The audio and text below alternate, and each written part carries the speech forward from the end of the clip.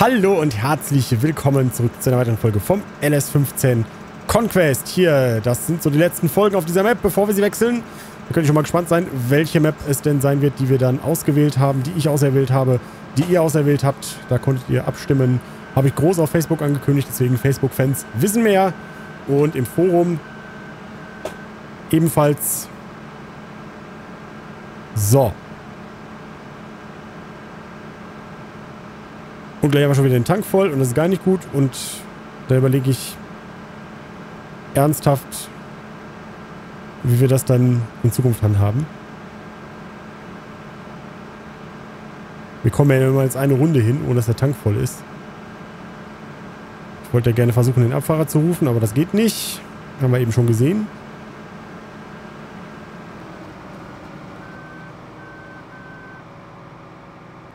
Ähm, und der hat sich auch wieder festgefahren. Das bebe ich mal eben. So, einfach mal entlassen. Wo hängt denn der? Das aber jetzt echt komisch. Hä?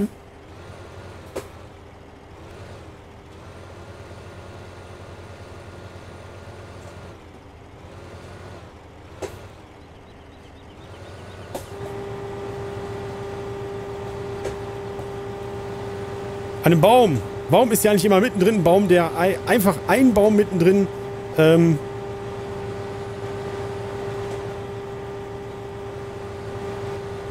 wo es dann halt nicht funktioniert. Naja. Ja, wir liegen also, das ist wieder so ein bisschen, was ich jetzt noch erzählen wollte, kurz mal. Das ist jetzt wieder so ein bisschen das Phänomen, was wir auch früher schon mal hatten. Je mehr Felder wir haben und je mehr Maschinen, desto stressiger wird das am Ende. Und das ist eigentlich so gar nicht das, was wir eigentlich möchten hier. Habe ich so den Eindruck weil du springst dann halt viel zu viel hin und her und dann gibt es wirklich Leute, ich, ich meine, es ist nicht böse, aber die sagen das dann ja auch so, die dann nicht mal mitkommen, denen das zu schnell wird, die das nicht mehr erfassen können, was wir da alles gerade machen. Deswegen würde ich das eigentlich gerne nicht so groß halten oder nicht so, weißt du? So, außerdem muss der hier abfahren, deswegen hat er Probleme. Und dann helfen wir ihm mal, seinen Kurs zum Abfahren zu finden.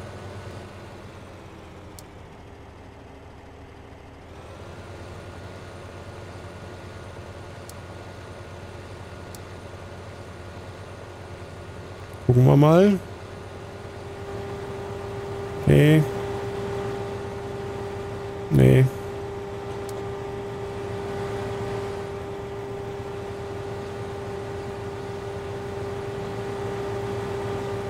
Aber so schwer sollte das ja eigentlich jetzt nicht sein, für ihn das zu finden. Das sieht schon besser aus. Gucken wir mal.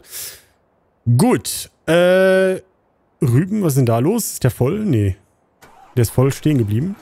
Den hier müssen wir leer machen. Der ist fertig. Yes, der ist fertig. Dann kann er dem anderen helfen. Dann können wir den Abfahrer umprogrammieren auf das andere Feld.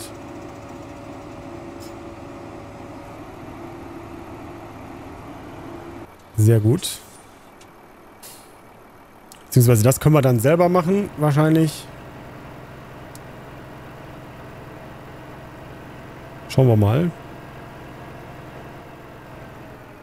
Ganz so viel Hin- und Herfahr-Hektik wollen wir ja nicht. So, also der Klaas hat uns auf jeden Fall schon sehr gute Dienste geleistet. Keine Frage.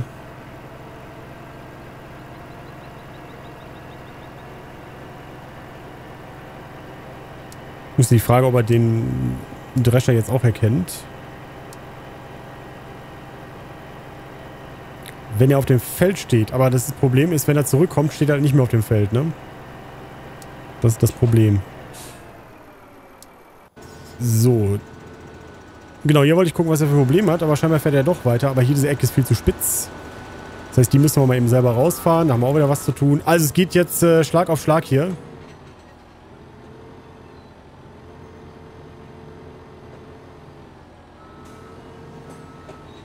Das ist halt... Das Problem ist halt, äh, je länger wir diese Ecken drin haben, desto größer werden die oder desto spitzer werden die immer wieder.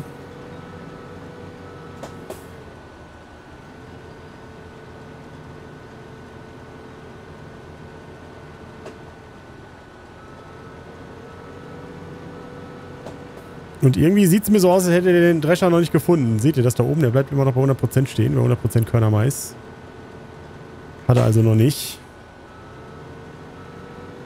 So, meine Idealvorstellung wäre ja, dass der dann einfach hier komplett in einem Zug rumfahren kann. Aber ich glaube, es wird ein bisschen schwierig. Also dafür ist es wahrscheinlich viel zu eng.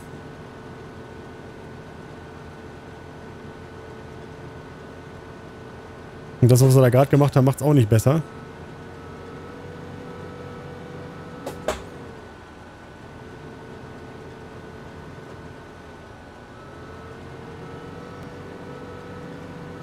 Und was ich gerade sehe, ist der lädt nicht, doch, ich dachte gerade, äh, ich dachte gerade, er wird nicht das ganze Häckselgut abladen. Das wäre natürlich auch nicht so schön. Oh, das macht Spaß. Diese richtig großen Maschinen hier. Die fühlen sich auch beim Fahren wieder gleich ganz anders an. 10% ungefähr lässt da drin, oder was? Mal gucken. Ja. Ist nicht schön. Man kann es aber einstellen. Man kann ihm sagen, dass er, wenn er BGA entlädt oder so, dass er dann eine andere Geschwindigkeit haben soll. Dass er, dass er noch langsamer fahren soll. Geht alles. Aber wir wollen uns da jetzt nicht zu lange dran aufhalten. Sprach er und äh, fuhr 33.000 Mal die gleiche Kurve ab. Und das war vielleicht nochmal ein bisschen weiter zurück.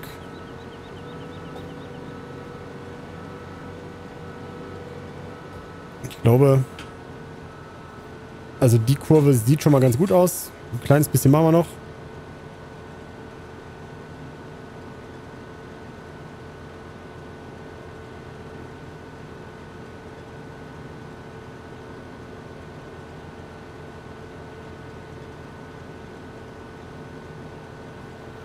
Und dann würde ich gerne die äh, vorher noch mal einmal nachbearbeiten.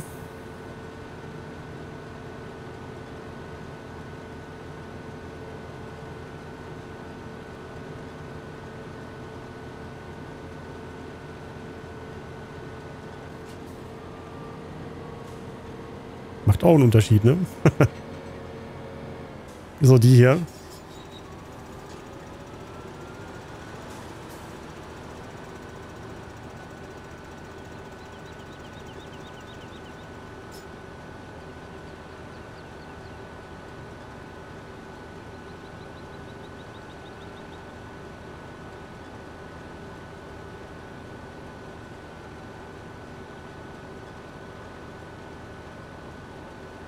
Und jetzt sollte es eigentlich ganz gut gehen. Ja, ähm, da müssen wir natürlich wieder hier den... Was hat der jetzt? Wo ist er? Da kommt er angefahren. Der war gerade leer machen. Jetzt sollte das auch wieder funktionieren hier. Sehr schön, perfekt. So soll es sein.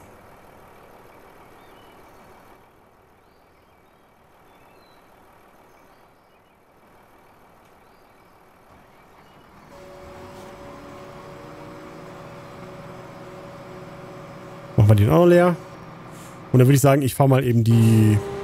Ich fahre mal eben die Rüben weg. Jetzt habe ich mir noch meinen Timer abgeschossen. Also heute läuft es echt nicht bei mir.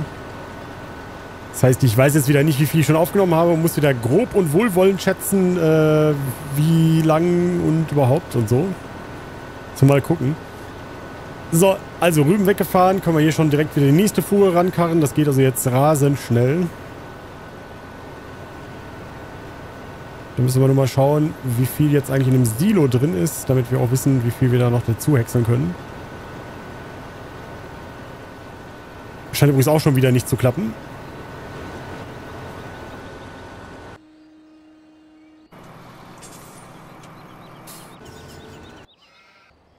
Gucken wir mal eben. Genau, der steht jetzt hier vor dem, vor dem Ding davor, weil der beim Wenden nicht genug Platz hatte. Ist aber kein Problem. Dauert nicht mehr lange, dann geht das alles von alleine. So, also hier geht weiter gehäckselt. Wie gesagt, wir wollen das ganze Feld nicht häckseln, aber zumindest ein Teil davon. Und wir gucken mal eben hier.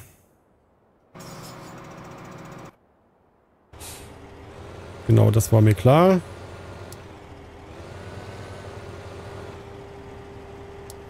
Das ist immer noch so ein bisschen der Nachteil dieses Cosplay. Das will dann immer irgendwie nochmal so, äh, so einen riesen äh, Schlenker machen, um sicher richtig einzubiegen. Und wenn du einen Wald hast mit Bäumen, meine, was für ein Wald willst du auch sonst haben, ne? Ähm, dann ist halt ein bisschen eng. So, dann fahren wir halt mal selber. Man muss ja nicht alles automatisieren. haben wir ein bisschen ab dabei. Jetzt könnt ihr nicht Kommentare vorlesen, aber ich bin ja nicht vorbereitet. Dafür gibt es auch das Tibi-Spezial. So.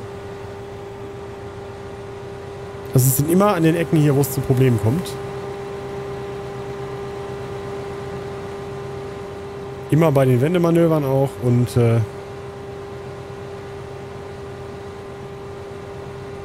auch der fährt hier mit Autokombinen eine schöne Spitze rein. Seht ihr?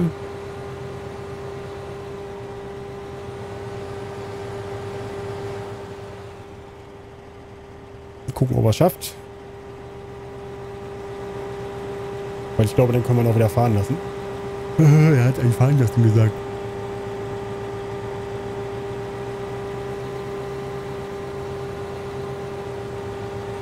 Na?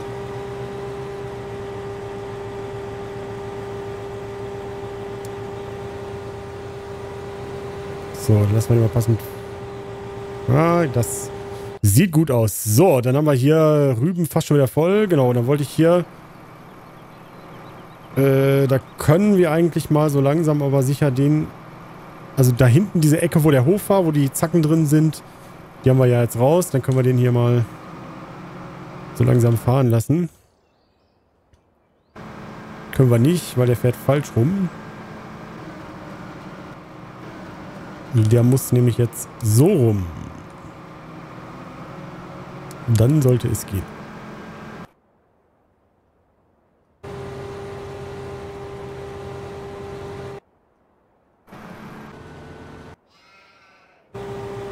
Diese Schafhöre. Das irritiert mich total. So, genau. Hier wollte ich gucken, wie es denn... Aua! Da bin ich voll in, die, voll in dieses äh, Ding reingelaufen.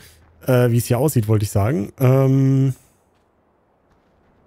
können wir eigentlich dann gleich vorlaufen lassen.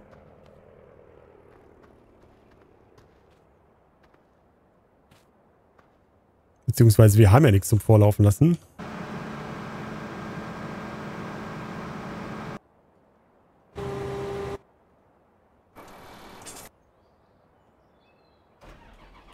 Bedeutet, ich schnappe mir mal eben den hier.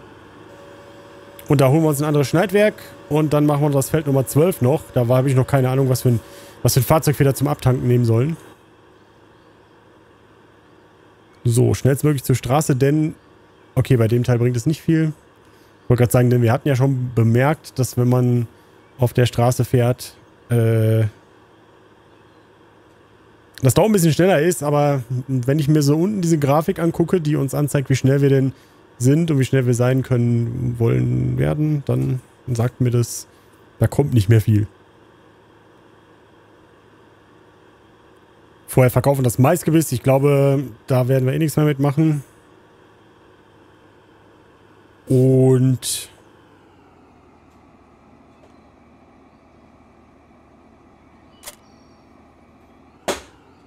Dann schauen wir mal, was wir da bekommen. Immer so ein bisschen komisch, wenn ich in diesem Lenkraddingen äh, sitze, dass man dann ähm, ja mit den Pedalen dann auch den, den Typen steuert. Sehr lustig. So, ähm, Schneidwerke.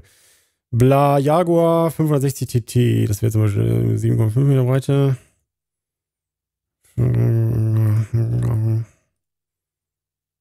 Breite. für 12, das haben wir wieder, dann würde es wieder nicht passen. Das wollen wir nicht. Also die 560 TT Schneidwerk ist dieses, jenes hier welches, ein kleines schnuckeliges. Das Feld ist ja auch nicht gerade groß. Ähm, das passt ganz genau. Und dann kriegen wir hier wenigstens noch ein paar, paar Kilometer runter auf unserem äh, Glasdrescher. Und dann sehen wir gleich, sehen wir schon wieder der andere, der Häckseltrecker. Hallo? Was ist denn da los? Sehr merkwürdig. So, der Häckseltrecker, der muss aufgetankt werden. Sollten wir dann auch tun.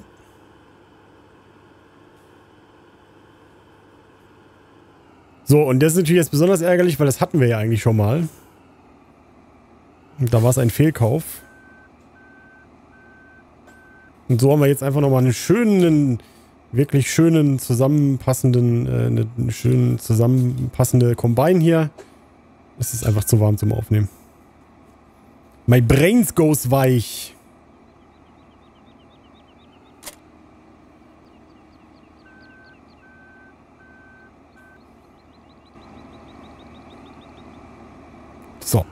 Wer will nicht gerne einen Glasdrescher haben?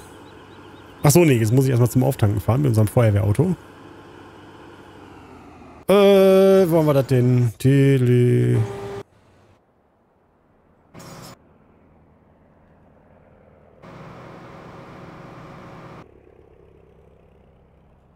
Da.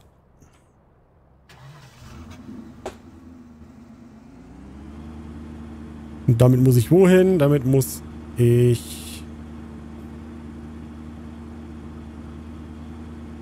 den Klaas Axion auftanken. Praktischerweise ist der gerade beim... Ja, das ist nicht optimal mit diesem Auto, das muss ich schon sagen. Ähm, der ist praktischerweise gerade bei der BGA, dann wissen wir auch ungefähr, wo er gleich wieder rauskommt. Wenn ich jetzt wüsste, wie lange die Folge schon geht, dann wüsste ich auch, ob ich schon Ende machen muss oder nicht. Das heißt muss, darf, sollte, kann. Und ich würde gerne versuchen, den automatisch aufzutanken. Das heißt, wir fahren jetzt mal hier vorne hin. Sodass der gleich an uns vor... Was tut er da? Sodass der gleich an uns vorbeifahren muss.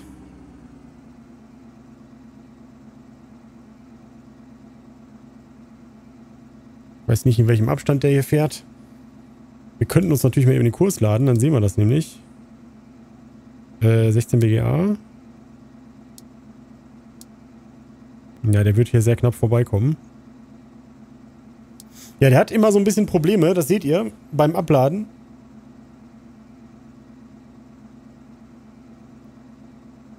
Der wird nicht ganz leer. Huch.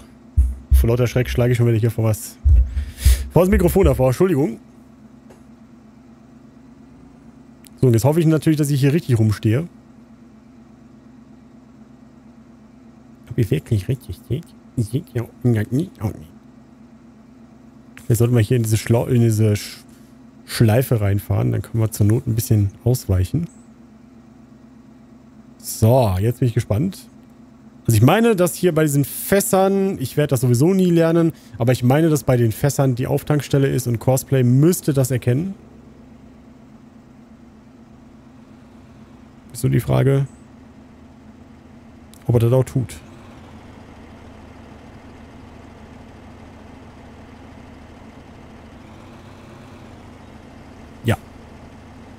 Genau so habe ich mir das geplant. Dann können wir den gleich noch ein Stückchen nach vorne fahren und dann kann er immer dann auftanken, wenn er hier vorbeifährt und eventuell braucht. Das sind ja Sachen, die man auch beachten sollte, wenn man ohnehin viel mit Cosplay macht. Ja, gut. Also, ich werde weiter Maschinen von A nach B fahren und so weiter. Und wir sehen uns in der nächsten Folge wieder von LS15 Conquest. Mein Name heißt Garderol. Danke fürs Zuschauen. Lasst gerne einen Kommentar da. Lese ich alle und freue mich drauf, von euch zu lesen. Bis zum nächsten Mal. Tschüss. Ich aber noch eben euch zeigen hier mit... Wenn er fertig ist mit Auftanken, dann müsste er ja...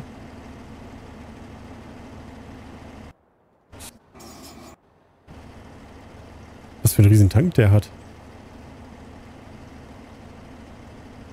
Dann müsste er weiterfahren wollen.